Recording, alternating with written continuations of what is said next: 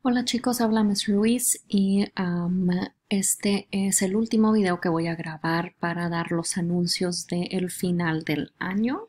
Estamos ya a este, una semana, menos de una semana de terminar uh, el año escolar y um, quiero dar algunos anuncios sobre sus calificaciones y el trabajo que, que nos queda. Um, podemos decir que este ha sido un año súper inusual. No teníamos esperado todo lo que todo lo que ocurrió con el virus, con las protestas demostrando toda la injusticia y el racismo que existe en nuestro país. y solo quiero nombrar que es un tiempo difícil para muchas personas y en, en reconociendo eso, he decidido que el trabajo que nos queda del el quarter va a ser opcional. Contará como crédito extra en sus calificaciones y solo les puede ayudar. Si no completan estos dos trabajos que están listados aquí, ahorita los explicaré, su nota no va a bajar, va a permanecer igual como tienen ahorita en Jump Rope. Y eso va a incluir dos cosas diferentes la última lectura para terminar el libro que hemos estado leyendo y unas preguntas de discusión y de reflexión usando la historia del libro y la película de En el tiempo de las mariposas que ustedes miraron la semana pasada.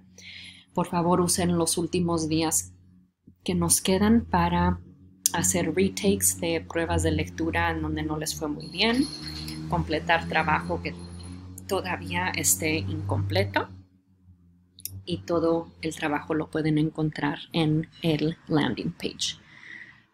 Entonces, si no haces prueba 4.0 o las preguntas de discusión, no pasa nada con tu nota, tu nota permanece igual. However, si completas estas dos cosas, puede ayudar tu calificación. Si están interesados todavía en el libro y quieren ver cómo termina, o si quieren subir su nota un poco más al final del año, les recomiendo que lo hagan. Regresando a la razón por la cual decidí hacer las cosas de esta manera, como dije, estamos viviendo durante tiempos muy extraños, muy tristes, muy inseguros.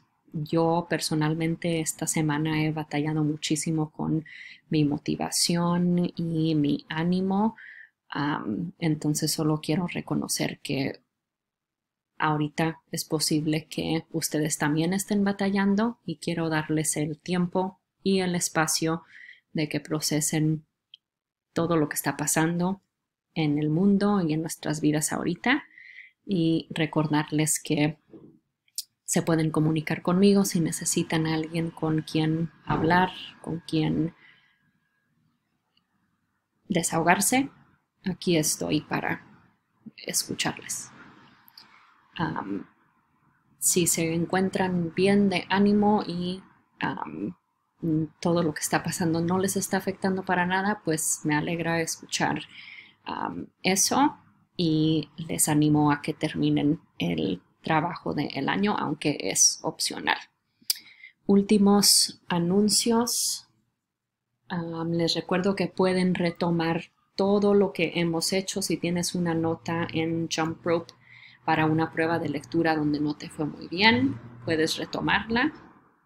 No hay trabajo tarde en Quarter 4, así que si hay algo que todavía no has entregado, lo puedes entregar todavía. No hay penalty por entregar algo tarde.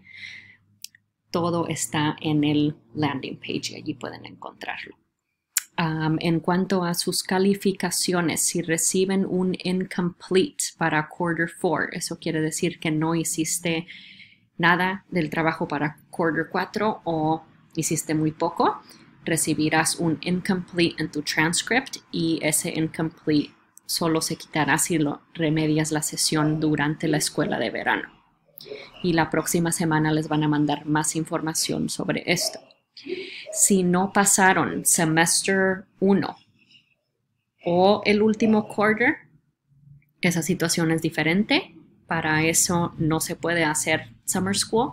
Si estás en esta situación, tendrás que repetir la clase completamente el próximo año. Entonces, lo, lo que nos queda son estas dos cosas, la lectura para terminar el libro y las preguntas de discusión. Esas dos cosas son opcionales, no tienes que hacerlas, pero si las hacen, cuentan como crédito extra y pueden ayudar su calificación. La próxima semana voy a estar poniendo las preguntas de discusión para ah, crédito extra, la lectura y la prueba 4, última lectura y última prueba, las pueden encontrar aquí. La próxima semana se anunciarán los estudiantes del año, uno para cada periodo, y también anunciaré los ganadores de la competencia de las adivinanzas que hemos estado haciendo. Si van a hacer el trabajo del capítulo 4, que es el último capítulo del libro, quiero darles un poquito de información sobre eso. capítulo 4 se va a ir aún más atrás en el tiempo este libro que hemos leído no va en orden cronológico, de hecho cada capítulo se va tiempo atrás. Si se acuerdan ustedes, empezamos con Oscar en 1980. Luego leímos la historia de Lola, su hermana, en 1970. El capítulo que acabamos de terminar fue el de Belly, o el de Mamá León, la mamá de Oscar y de Lola cuando ella era jovencita en 1950 y 60 en la República Dominicana. Y el último capítulo, este es el que va a ser opcional para ustedes, es el capítulo de Abelard y se va aún más atrás en el tiempo en los años 40 y 50, también en la República Dominicana. Abelard um, era el papá de Belly, y viene siendo el abuelo de Oscar y de Lola, aunque ellos dos nunca lo conocieron a él. Un preview de los personajes de este último capítulo. Tenemos a Abelard, tenemos a Socorro, su esposa, y la madre de sus tres hijas que ellos dos tuvieron juntos. Si ustedes recuerdan, la Inca siempre le decía a Belly, no olvides que tu padre fue un médico, no olvides que tu madre fue una enfermera que tenían una casa muy grande. Entonces Abelard y Socorro son los papás de Belly y ellos tuvieron tres hijas, Jackie y Astrid, que eran mucho mayores que Belly. Belly fue la última hija que ellos dos tuvieron antes de que algo les pasara, para no darles muchos spoilers. entonces, Belly nunca conoció a sus hermanas. Bueno, sí las conoció, pero no tiene memoria de esto. Ella, ella solo tenía unos meses cuando toda su familia desapareció. Y en este capítulo también va a aparecer el dictador, el personaje quizás más importante del libro. Hemos hablado de Trujillo desde el principio y en este último capítulo se revela la relación que Trujillo tiene con toda esta familia, que es la familia de Belly, de Oscar, de Lola. como Abelard era un médico muy prestigioso, muy conocido, un hombre de mucho privilegio, él conocía a el jefe, a Trujillo, y cuando Trujillo tenía fiestas presidenciales y funciones para la gente ah, privilegiada, Abelard asistía. Entonces Trujillo tiene que ver con lo que ocurrió a toda la familia Cabral. Y para no darles muchos spoilers y arruinarles la lectura, estas son las preguntas que el último capítulo contesta. ¿Qué le pasó a la familia de Belly? ¿Y en dónde comenzó el Fuku y la maldición que persiguió a toda esta familia? El Fuku y la maldición que hablamos al principio de esta lectura empezó con Abelard y luego se pasó a su hija y ella se lo pasó a sus hijos entonces en este último capítulo se revela todo qué pasó con la familia Cabral y dónde comenzó esta maldición que persiguió a la familia. Espero que lo lean, está buenísima la lectura, el último capítulo está muy interesante también. Y este, de nuevo, si no gustan hacerlo, si no tienen la capacidad, la motivación ahorita, entiendo, su nota no será afectada si no completan estas últimas dos cosas. Aquí tienen el trabajo y de nuevo lo único que voy a poner de ahora en adelante es la adivinanza.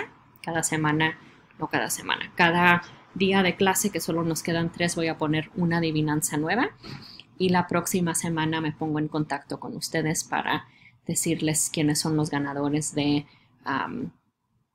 de estudiantes del año para cada periodo y el ganador o la ganadora de las de la competencia de las adivinanzas.